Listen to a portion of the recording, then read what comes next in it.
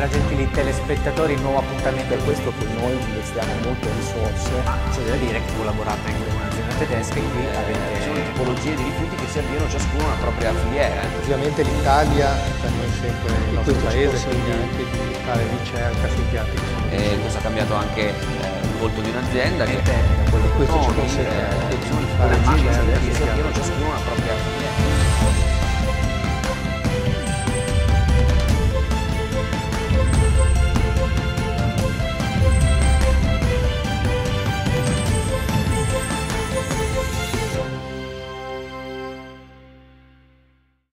Buonasera gentili telespettatori, nuovo appuntamento di Made in Italy. Questa sera continueremo a parlare di design raccontandovi la storia di Angelo Cappellini e di tante aziende che riescono a collaborare eh, tra di loro per affermarsi all'estero. Lo faremo sempre con ospiti che erano presenti la scorsa settimana. Ovviamente buonasera e benvenuto Gianluca Corru. Buonasera a tutti. Ringrazio ancora eh, Luca Mapelli di Angelo Cappellini. Buonasera. Buonasera a tutti. Buonasera ad Ezio Panzeri di RR. Buonasera. Buonasera eh, a Giovanni Amoroso di Design Union International. Buonasera. Ringrazio ancora Pietro Grande di Cresos SRL Buonasera. e grazie ancora a Paolo Bleve del direttore Il Foglio Buonasera. Buonasera, allora Gianluca, la scorsa settimana abbiamo un po' raccontato di questa bellissima azienda e di tante aziende che riescono a collaborare tra di loro. Eh, questa sera cercheremo anche di raccontarvi una collezione, quella di opera contemporary, ma intanto per riassumere un po' i concetti che abbiamo trattato la scorsa settimana. Beh, intanto il, il Made in Italy, che è poi il concetto fondamentale che abbiamo cercato di trasmettere, il Made in Italy che si tramanda in eh, tante declinazioni, c'è la declinazione più tecnologica, la declinazione eh, del food, la declinazione in questo caso eh, del design, dell'arredamento di interni e in parte anche dell'architettura, perché no? Perché comunque sono eh, materie estremamente collegate. Abbiamo una filiera di imprese che opera sul territorio eh, e che eh, si proietta a livello internazionale in tantissimi paesi dove il Made in Italy è veramente un valore aggiunto straordinario, che deve naturalmente affrontare la concorrenza internazionale con tutte le difficoltà che questo comporta e eh, l'aspetto di promozione, commercializzazione, la produzione, poi il trasporto e l'installazione con tutto quello che ne consegue. Ed è venuto fuori che eh, probabilmente il Made, in, Made in Italy non è soltanto il prodotto finale che viene poi consegnato al cliente, ma è tutto l'intorno eh, del servizio, dalla nostra storia, quindi al- dallo storytelling che facciamo poi al cliente fino alla scelta dei materiali e l'installazione, la realizzazione, la progettualità che c'è dietro, insomma tutto il mondo del Made in Italy che eh, si proietta fuori dall'Italia, come dire che quelle cose che vengono fatte e realizzate in Italia non sono fatte e realizzate per stare qui, ma per stare in tutto il mondo. E qualche anno fa Angelo Cappellini e la sua azienda hanno dato vita all'opera, a Opera Contemporary, una collezione raffinata, elegante. Mapelli ci vuole raccontare perché nasce questo tipo di collezione e come sta andando, diciamo. Allora, la collezione nasce dal fatto che Angelo Cappellini è una realtà soprattutto, mi piace dire, produttiva. Quindi ha un- uno stabilimento dove vengono creati i fusti, dove si crea proprio il mobile e creando mobili in stile ci è capitato di creare, in questo caso soprattutto per clienti statunitensi, anche dei mobili e delle sedie soprattutto in uno stile più contemporaneo, più moderno. Da lì l'idea di poi sviluppare questa linea e trasformarla in una linea completa. Un po' difficile eh, definire la parola contemporary perché è una parola difficilmente traducibile dall'inglese, perché co- cosa è contemporaneo è un punto di domanda. Comunque la collezione sta funzionando molto bene, si sta sviluppando, i clienti stanno capendo che c'è un valore di design importante e anche di qualità e soprattutto che questo stile ehm, oltrepassa un po' la moda, diciamo resiste per qualche anno, non è destinato a cambiare velocemente. Quindi forse contemporaneo in questo caso può, può essere tradotto come varrà per un po' di tempo. Panzeri, però eh, la scorsa settimana abbiamo anche accennato al concetto dell'innovazione. Oggi per un'azienda che lavora nel vostro campo è possibile coniugare tradizione con l'innovazione? È necessario, è necessario per essere propositivi. per eh, proporre qualcosa che sia una rivisitazione di quello che aveva a suo tempo una pile, un gusto, ma eh, vincolato a quel periodo. Oggi essenzialmente si propongono dei prodotti che hanno delle radici storiche in quello, però vengono rivisitati, rinfrescati, mantenendo le peculiarità di partenza. Ecco, vogliamo dire voi di cosa vi occupate? Eh, sostanzialmente noi siamo editori tessili. Cosa facciamo? Eh, creiamo dei nuovi prodotti, dei nuovi tessuti sulla scorta di, di disegni d'archivio che abbiamo, di qualità che andiamo a, a recuperare negli archivi storici dei musei, nelle ville padronali, riproponiamo con la nuova fattura, naturalmente tutto quello che veniva fatto manualmente, su telai manuali, noi lo riproponiamo sulle macchine attuali, eh, rinfrescandoli nel colore, rinfrescandoli in freschezza di qualità. Ecco quanto è importante curare ogni minimo dettaglio nel processo produttivo. È essenziale oggi. La filiera, è, la filiera, che è molto lunga, andrebbe accorciata tantissimo, ma è, è molto lunga, ci crea dei problemi proprio su, su quella che è la cura maniacale. Perché? Perché abbiamo dei processi che sono esternizzati che difficilmente riusciamo a seguire e si rischia di arrivare in fondo col prodotto finale con tutte le problematiche legate al fatto che avendo esternizzato in parte o buona parte eh, crea delle grosse problematiche. Quindi per ovviare a questo devi per forza maniacalmente seguire quello che è dalla progettazione alla scelta dei colori, alla scelta delle materie prime e alla produzione finale.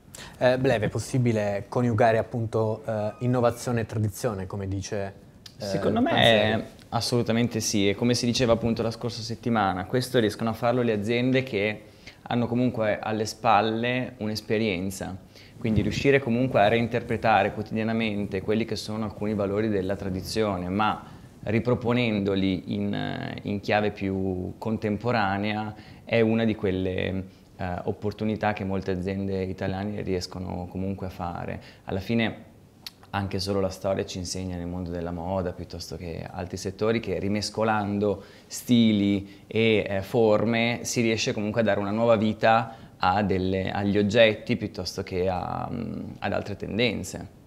Però Gianluca, noi la scorsa settimana abbiamo un po' accennato al fatto che stiamo perdendo questa tradizione, eh, perdiamo un po' questa, questa cultura, questa diciamo, attenzione verso i maestri artigiani.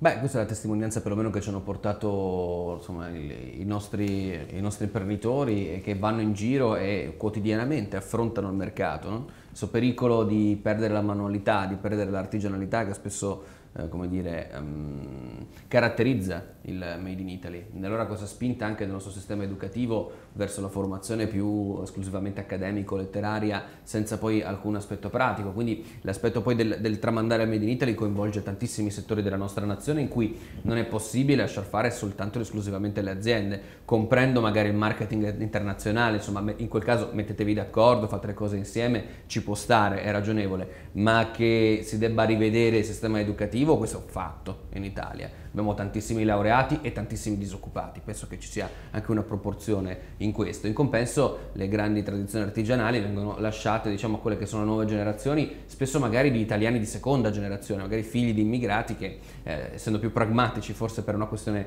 per una mh, mm, eh, condizione economica di base, di partenza più bassa, essendo più pragmatiche le famiglie dicono vai a lavorare, vai a trovarti qualcosa che ti caratterizzi, vai a fare l'artigiano. Ecco, probabilmente eh, mancano nuove generazioni di artigiani. È anche vero che il nostro paese si deve, si deve rivedere in tantissimi aspetti, quindi questo è soltanto uno degli aspetti per cui noi stiamo perdendo anche alcuni, eh, alcuni di, di tratti che caratterizzano Made in Italy. L'altro è perché chi ci copia sta diventando sempre più bravo e questo è anche un fatto, spesso, cioè lo, lo, diciamo per le borse, eh, le, le, borse per l'abbigliamento, no? spesso le stesse fabbriche eh, thailandesi o dell'est asiatico che producono le borse per i grandi marchi internazionali, non soltanto italiani, sono le stesse che poi fabbricano quella quota di falsi che invade eh, quegli stessi mercati a prezzi estremamente ridotti. In quel caso eh, sono proprio loro che li fanno, li fanno per i big che fanno il disegno e poi li fanno come sottomarche eh, per produrle tenendo la produzione in Italia, facendo un po' più protezionisti e facendo pagare bene quelli che ci comprano, è proprio molto complicato poi a quel punto che qualcuno ci copi, se noi siamo più bravi eh, degli artigiani che ci copiano. Attenzione a non dare troppo spazio e troppo tempo a quelli che ci copiano perché quelli possono diventare più bravi di noi. Lo diceva la, la mia professoressa di, eh, di, di lettere no? alle superiori, diceva eh, oh sei bravo a scrivere, però se non ti impegni, quelli che poi lavorano tutti i giorni per imparare a scrivere, tra sei mesi saranno più bravi di te. Fai attenzione che il talento non basta. Eh, grande, stiamo perdendo questa caratteristica italiana dei, dovuta alla bravura dei nostri maestri artigiani?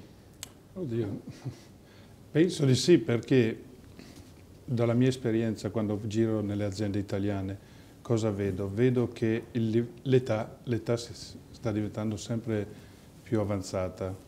Abbiamo dei bravissimi maestri artigiani, però eh, temo che, eh, o perlomeno, lunga vita a questi maestri artigiani, perché no, non so se eh, le, le, nuove leve saranno in grado di ripiazzare, me lo auguro con tutto il cuore perché ne va di, di tutto il nostro business, del, del, della, perché è proprio i maestri artigiani sono un elemento che ci contraddistingue, come stava dicendo Gianluca, sono loro anche che sono molto bravi nella ricerca dei materiali, nelle finiture, nel realizzare quello che il designer ha, ha, ha, prodotto sulla carta, lui lo porta fino alla, al termine realizzando il prodotto.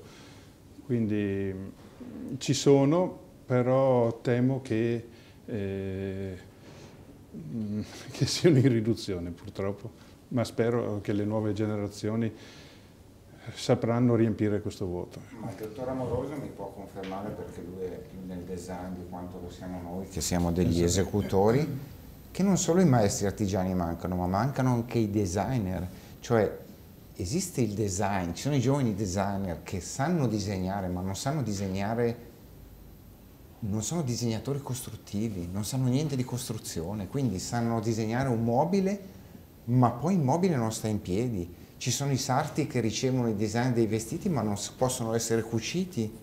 Questo è il grande problema dell'Italia di, di, questo momento, oltre al, all'artigiano che sta diventando sempre più anziano. Prego. Possiamo confermare questo problema? Assolutamente sì, d'accordo. Cioè vi arrivano dei disegni di mobili che non stanno in piedi, ma seriamente? Ma da designer che fanno questo di mestiere? Certamente è importante far vivere sul campo le situazioni perché solo con l'esperienza sul campo poi effettivamente puoi capire esattamente le cose come vanno. E troppa teoria fa male.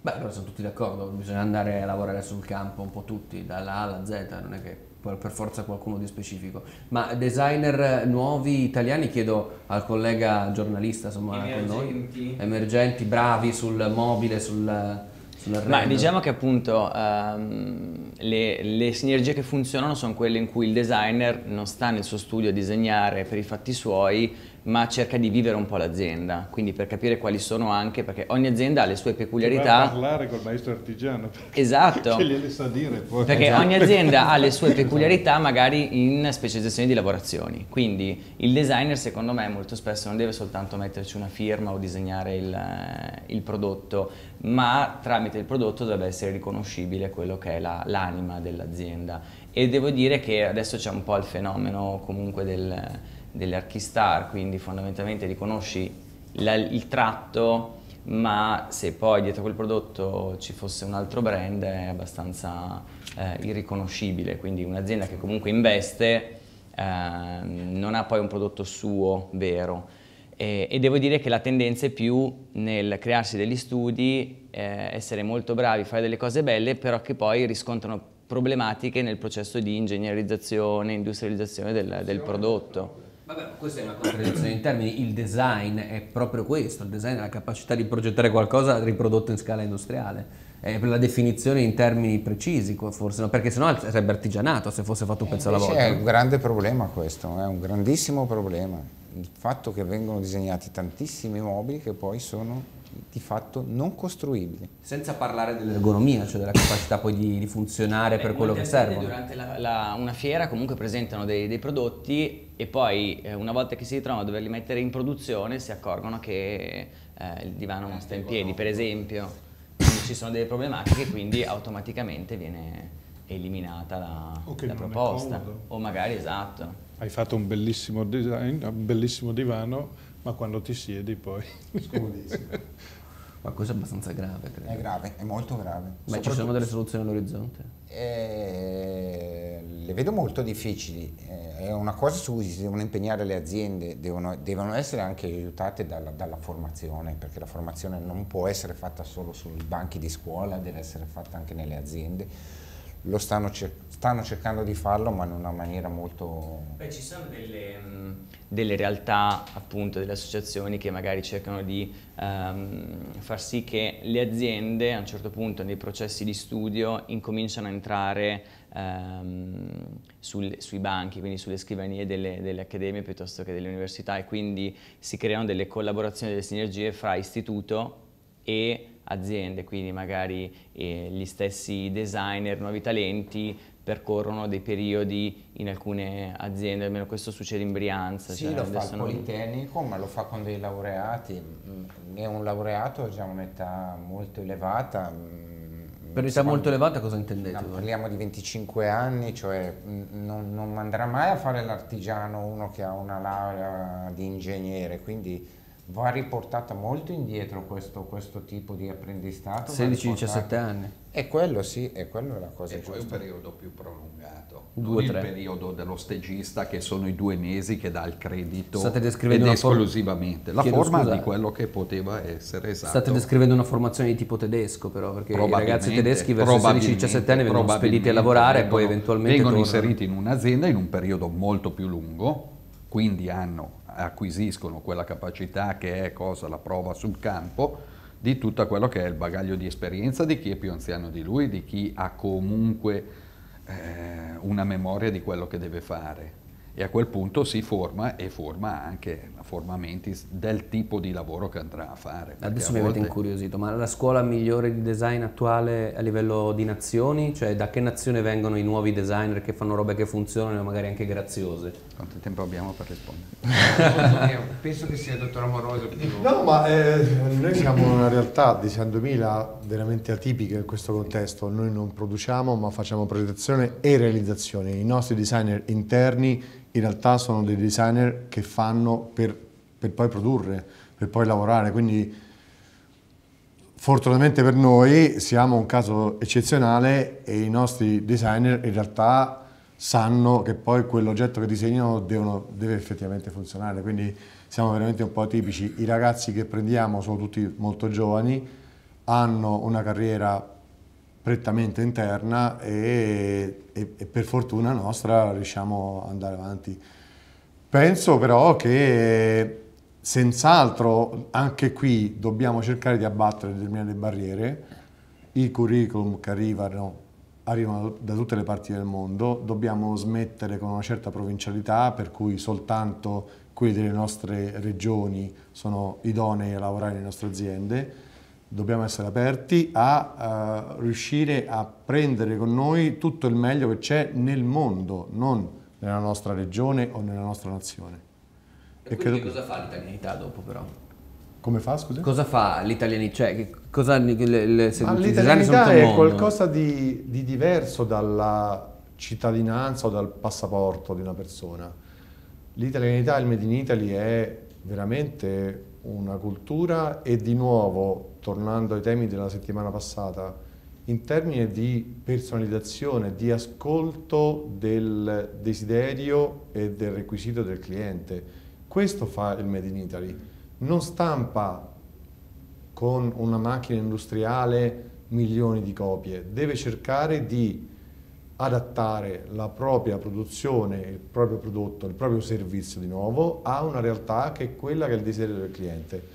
Questo è il passaggio del Made in Italy a mio, Che il parere. risultato finale secondo me fa la differenza, quindi il Made in Italy lo riconosce nel risultato finale, se per arrivare a realizzare una collezione Eh, si è sono anche impiegate... molto però, anche però molto il come si fa. Sì, sì. Eh, Cioè, senz'altro il risultato finale è poi alla fine Cioè il- l'espressione del Made in è Italy. il risultato di, uno- di un processo che è durante, di ascolto del cliente e di servizio, Sì, perché sì. non ce n'è. È inutile limitarsi al prodotto finale, dobbiamo fare un percorso che è ascoltare il cliente, realizzare delle operazioni molto più personalizzate di quello che possa essere un semplice catalogo e poi andare a realizzare esattamente con affidabilità di tempi e di costi quello che è il requisito del cliente. Per tornare alla sua domanda, se noi usciamo un attimo dal residenziale e andiamo all'alberghiero, difficilmente troviamo grandi alberghi con firma di design italiani, anche in Italia. I più grandi alberghi italiani sono i designer inglesi, statunitensi o francesi. È una risposta ce l'abbiamo avuta alla fine. Allora, noi ci fermiamo un attimo perché vediamo questo video che abbiamo pre preparato proprio su Opera Contemporary e poi parleremo ancora di altri temi. Vediamo.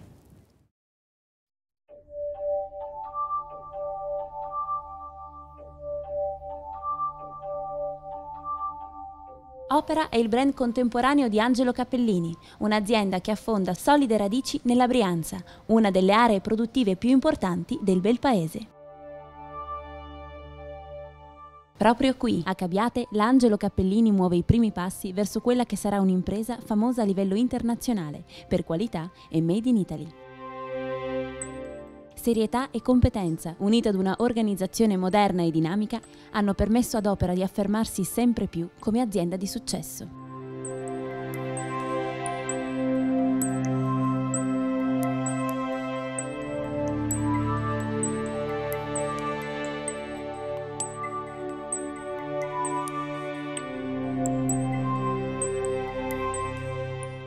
Collezione Opera, proveniendo dalla stessa produzione Angelo Cappellini, conserva in ogni articolo la sapienza artigianale nel fare le cose come una volta, dove di fianco ai grandi tecnologici macchinari aziendali non può mancare l'occhio esperto dell'artigiano, quello di chi, esperienza alle spalle, sa davvero quando un prodotto è pronto per essere presentato con dovizia ai clienti.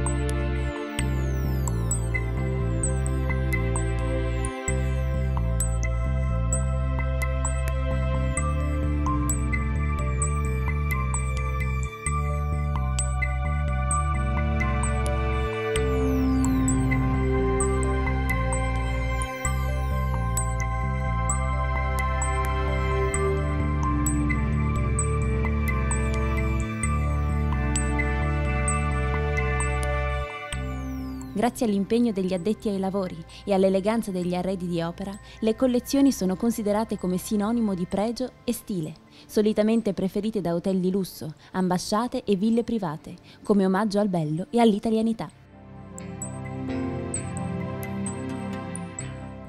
Le collezioni, apprezzate per eleganza e qualità, sono elemento di pregio sia all'interno di residenze private che nelle grandi sale di un'ambasciata, di una villa o di un hotel.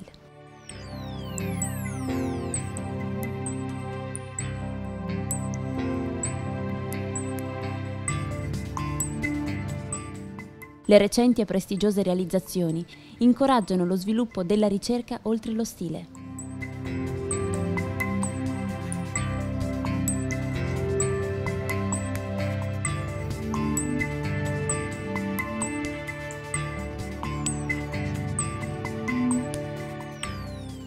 Nell'azienda, appena rinnovata, vengono usati macchinari e strumenti tecnologicamente più avanzati, che insieme all'esperienza e alla conoscenza tecnica dei nostri maestri artigiani garantiscono che ogni prodotto realizzato sia unico, esclusivo e personalizzato su richiesta.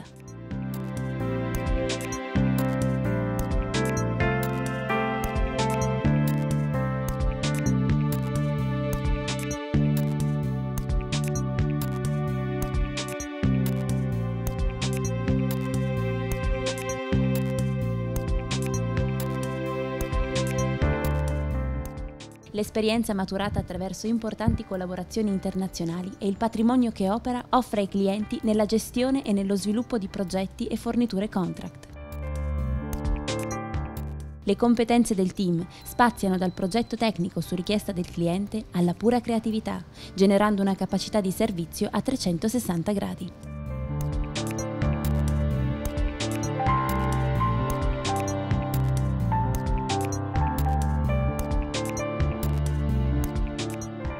Dal progetto alla realizzazione, il processo produttivo viene scrupolosamente monitorato da un team specializzato, seguendo standard qualitativi capaci di soddisfare anche il cliente più esigente.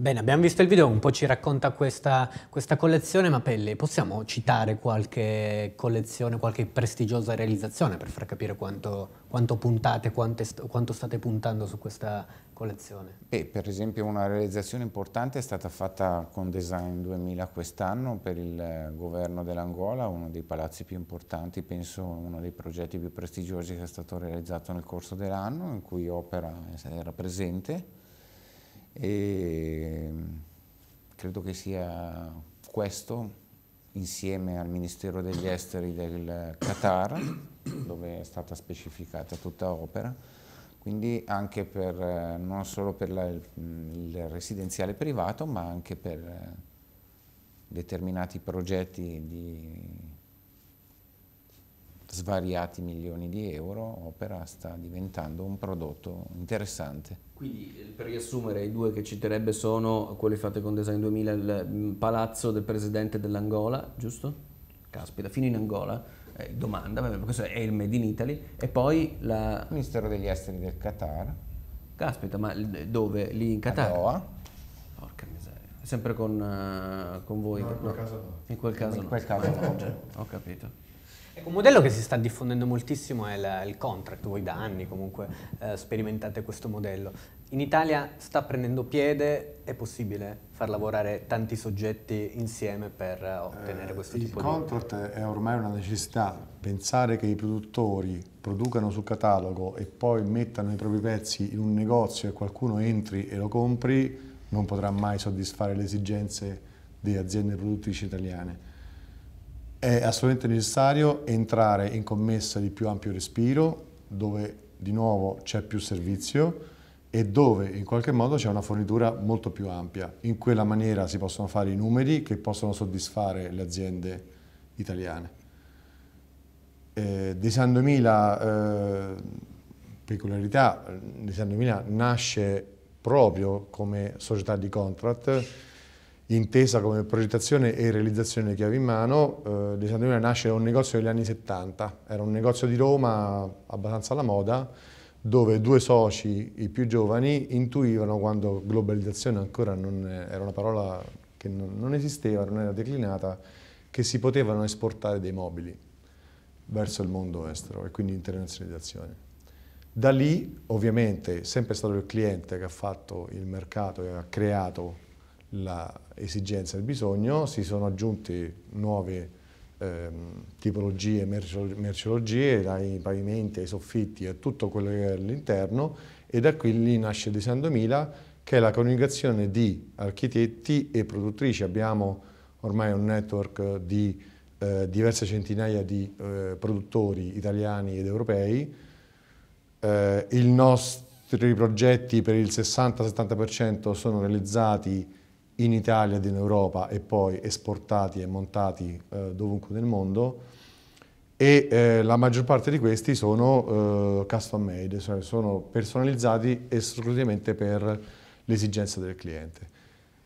Credo che questo sia esattamente quello che il Made in Italy oggi rappresenta, cioè di nuovo qualità, personalizzazione, incontro del desiderio del cliente e lì dobbiamo andare a parare. Design 2000 fortunatamente è una società che è nata in questo senso, ma credo che molti altri attori del Made in Italy possano replicare questo modello. Panzeri è d'accordo sull'importanza eh, di soddisfare al 100% il cliente, oggi non si può trascurare nulla da ogni, ogni parte del processo sì, produttivo. Assolutamente sì, perché come già anticipavamo nella precedente puntata, il nostro target di clientela è ormai rimasto l'altissimo quindi se non perdiamo quella che è il servizio, perdiamo quello che è la, il chiudere a 360 gradi la fornitura, non abbiamo dei grandi vantaggi dal punto di vista industriale di numeri che ci consentano di rimanere nel mercato. Sicuramente è l'unica strada percorribile. Gianluca, però lo sappiamo che è veramente difficile far lavorare tanti, tanti soggetti, soprattutto magari gli architetti eh, con le aziende. Abbiamo sperimentato in passato questo tipo di difficoltà. Beh, ci vuole una guida forte, ci vuole una guida competente, ci vuole una guida che sia in grado di gestire le varie personalità che sono molteplici, tra l'altro, in un'operazione di questo genere, perché non c'è soltanto l'aspetto manageriale, c'è anche l'aspetto artistico che ha la preponderanza l'aspetto realizzativo che deve essere di grandissima qualità, un aspetto ingegneristico per verificare che tutto quadri, ecco. e poi c'è il cliente che è la grande incognita, ma neanche tanto, perché alla fine quando poi fai un lavoro fatto bene il cliente è soltanto che contento, anzi, anzi è consapevole di aver speso eh, diciamo poco per quello che ha perché è un pezzo unico, irripetibile. E quindi da quel punto di vista sì, non invidio proprio eh, chi si occupa di mettere d'accordo tutte queste persone perché passerà più tempo a mettere d'accordo che poi magari effettivamente a lavorare, però quando si lavora è un piacere se le cose filano, filano giuste e lisce. E io credo che eh, sì, siamo teste matte, per non dire altri termini ben, poco, ben meno lusinghieri, diciamo, però quando lavoriamo e lavoriamo insieme siamo un team imbattibile. Una squadra fortissima, oserei dire. Grande, è un'opportunità il contract per le aziende italiane per lavorare all'estero? Eh, sempre di più, perché come hanno già detto i colleghi, da, da una parte la clientela rimane sempre più solamente la fascia medio-alta, eh, neanche medio-alta, sbagliato, alta, alta, e dall'altra parte, come diceva Giovanni, cioè non, non, non, si riesce più, io seguo i mercati dell'est, seguo mh, vari paesi, dai Baltici fino al Kazakistan, includendo tutti i paesi caucasici, e da vent'anni a questa parte, e quindi posso dirvi che mentre prima si vendeva quasi esclusivamente, quando ho iniziato, 93-94, quasi esclusivamente tramite negozio, e si faceva a gara chi faceva il negozio più grande, 3.000, 5.000, 8.000, 15.000, 20.000 metri, ogni volta c'era la notizia di chi faceva il negozio più grande. E poi col passare del tempo, con l'arrivo della crisi via dicendo, eh, c'è stata la riduzione da parte dei negozi, mm, eh, lo sviluppo di studi design che hanno incominciato a seguire prima progetti più piccoli e poi per arrivare fino al punto di seguire progetti sempre più grandi e quindi il contract. Il cliente quindi che non si accontenta più di entrare nel negozio, di aprire il catalogo, di scegliere l'articolo XY, ma eh, che vuole al suo fianco professionisti di alto livello che gli diano servizio e professionalità, appunto, quindi architetti, designer di prestigio, anche di, di, di film, cioè, perché poi c'è la gara anche lì, essendo tutta gente di alto livello, chi ha il designer più importante e si affidano completamente a loro per appunto avere il servizio migliore in assoluto, fino al, penso quasi sempre, chiave in mano, possiamo dire chiave in mano. Viene fuori, sempre... viene fuori, ancora un vantaggio che possiamo sfruttare noi italiani perché questi designer, per pur bravi che siano, difficilmente mandano il disegno costruttivo di un mobile. Ecco lì che è importante che i produttori si attrezzino con studi tecnici e comunque con una importante conoscenza della parte intellettuale del lavoro, oltre che dell'aspetto produttivo. Per l'amor di Dio la manualità è fondamentale, la capacità a innovare altrettanto e per far questo c'è bisogno anche di una certa trasformazione dell'azienda. Posso aggiungere per tirare un po' l'acqua anche al mio volino, perché tu sei la parte intellettuale, loro sono la parte produttiva però c'è bisogno anche, l'hai detto anche tu stesso giustamente, di molto servizio, perché, di coordinamento poi tra le varie fasi, perché la singola azienda a volte si perde e, e, e c'è bisogno di coordinare la richiesta che viene dall'estero con quello che devono effettivamente fare per andare incontro alle esigenze del cliente. Questa è una cosa, penso, importante. Possiamo soltanto dire di cosa vi occupate voi? La mia è un, io ho una società di servizi che ormai, come dicevo prima, dal 93-94, con la caduta del muro, mi sono rivolto verso questi paesi per seguire quella che era una richiesta loro. E la richiesta loro iniziale era quella di che creavano dei negozi e per cui io mi sono messo al servizio di negozianti eh, in, nei vari paesi, da Lituania, Lettonia, Estonia, Bielorussia, Ucraina, tutti i paesi caucasici, Azerbaijan, Georgia, Kazakistan e via dicendo, per dare loro un servizio, chiamiamolo così, definiamolo, di buy-in office, nel senso che essendo molto lontani, avendo difficoltà, pur potendo venire nelle fiere, vedendo il mobile, contattando velocemente, delle persone, però poi c'è la difficoltà di mantenere, di portare avanti il rapporto e di avere anche contatti con più aziende. Per cui dato, mi sono specializzato in quel servizio per i negozi, per gli studi design, di dare il servizio del buy-in office, nel senso che tu mi mandi i tuoi ordini, io te li gestisco, te lo gestisco dallo sviluppo, che a volte non sei molto bravo neanche nello sviluppare l'ordine, al, al, controllo de, dell'ordine stesso, ai vari pagamenti che, e, e, quindi al ritiro di tutta la merce facendola confluire in un unico magazzino e poi facendoti fare un unico pagamento con un'unica fatturazione. È un servizio che è andato molto bene negli anni anche se adesso si sta trasformando perché appunto i negozi lavorano sempre meno, siamo, abbiamo trovato sempre più studi design e adesso anche noi a volte fungiamo forse non come Giovanni che ha un suo reparto interno e, e propositivo. Io ho per esempio questi studi di architettura che hanno bisogno anche loro di un, chiamiamolo un general contractor, giusto si può dire? Assolutamente sì. Che, che coordini le varie aziende, perché come si diceva, le grandi aziende italiane poi alla fine sono piccole aziende. Piccole aziende che non sempre sono anche ben strutturate per quanto riguarda il servizio e men che meno per il servizio all'estero, voglio dire. Non sono sempre, le, le piccole e piccole sono, non hanno proprio anche le possibilità, quindi, però sono quelli che a volte sono anche più bravi. Sono dei veri tesori. Dei veri dei tesori. Dei veri tesori nascosti. Quindi hanno che bisogno... il Italy ha il dovere di diffondere. Esatto. E noi cerchiamo di aiutarli, mettendo assieme e dando il servizio in maniera tale che anche il committente abbia un punto di riferimento unico perché diventa difficile poi interloquire con chi sa parlare solo l'italiano e che ti vada bene a volte che parli italiano.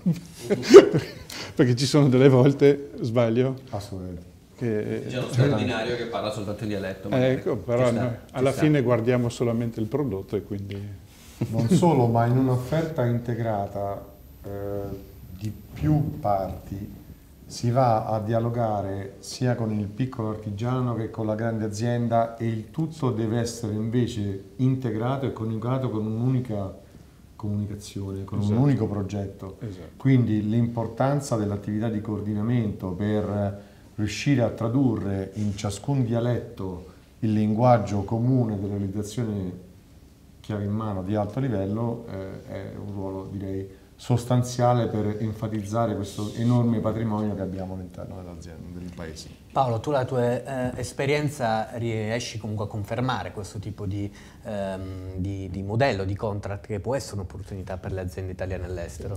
Sì, perché contrariamente a quanto si diceva la volta scorsa riguardo a il creare comunque una sinergia a livello commerciale sotto l'aspetto della produzione, quindi devi, cioè per partecipare a un contract devi rispondere a dei quesiti abbastanza ehm, canonici. E il primo è appunto la personalizzazione, quindi il, la flessibilità nel processo magari produttivo o comunque nell'offrire un prodotto mh, ad hoc e le aziende italiane di fatto hanno questa capacità molto sartoriale, quindi in questo si vede un po' il gioco di squadra perché appunto l'unione di più eh, competenze poi da, eh, fa sì che si riesca a entrare in determinate commesse che comunque mh, privilegiano questo, questo, valore appunto più, più sartoriale, quindi la possibilità di dare un prodotto che non è da catalogo ma automaticamente più personalizzato. Siamo quasi alla fine, ci vuoi dire qualcosa un po' sul foglio, il foglio del mobile? Sì, il, il, nostro giornale è nato nel 2007, quindi siamo relativamente giovani sul campo editoriale, eh, però eh, nascendo comunque su, eh, su, una manifestazione come quella di Milano, quindi il Salone del Mobile di Milano, ehm, abbiamo subito intravisto quella che è la necessità delle aziende di eh, internazionalizzarsi, quindi eh, questi processi che si stavano incominciando ad attivare da, da, tempo li abbiamo subito seguiti, quindi interpretando un po' quelle che erano le strategie delle aziende abbiamo cercato di eh, supportarle, quindi oggi il giornale è presente in 17 mercati, e ehm, quindi diffuso durante 30 eventi internazionali, appunto eh, facendosi portavoce di quello che sono le capacità del Made in Italy, quindi parliamo di aziende italiane e basta, eh, durante i momenti di incontro, quindi tra operatori, i buyer che dicevamo prima, i eventuali distributori che devono scegliere dei partner e magari poterli scegliere eh, da questo pacchetto di aziende italiane. Quindi questa è un po' la... Ecco, in queste due puntate Mapelli abbiamo un po' raccontato la vostra storia eh, e anche questa collezione opera contemporary. Il futuro a questo punto? Possiamo annunciare qualcosa, qualche progetto interessante? Sì, possiamo annunciare che il futuro non è così nero come ce lo aspettiamo. Possiamo pensare positivo perché il prodotto è buono, perché abbiamo dei partner molto importanti sia dal punto di vista produttivo sia dal punto di vista dello sviluppo del contract, abbiamo chi va a cercare i clienti, abbiamo chi diffonde attraverso la scrittura e il giornale il Made in Italy. Quindi le persone che sono sedute con me io devo solo ringraziarle come ringrazio chi è manuale perché aiutano il Made in Italy e aiuteranno la nostra azienda a crescere. Bene, noi purtroppo abbiamo finito queste, questa puntata dedicata appunto al design italiano. Io ringrazio Paolo Bleve per essere stato qui con Grazie noi. Grazie a voi.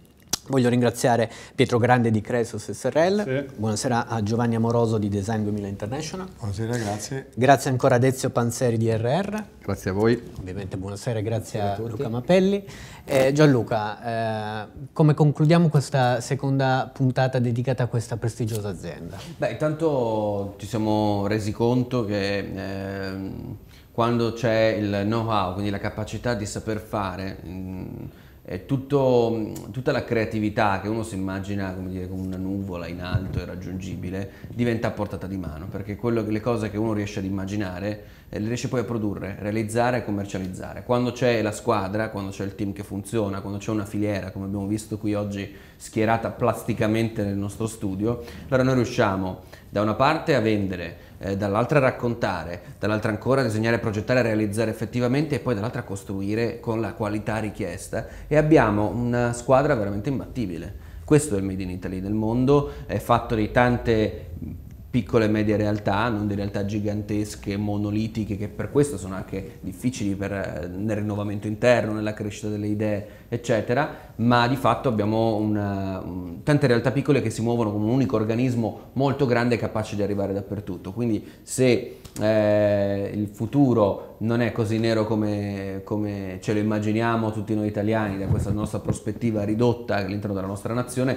lo dobbiamo anche e soprattutto a, ad aziende come questa, quindi l'augurio è che sia più rosa, colorato o del colore di design di tendenza del futuro che loro decideranno eh, per tutti.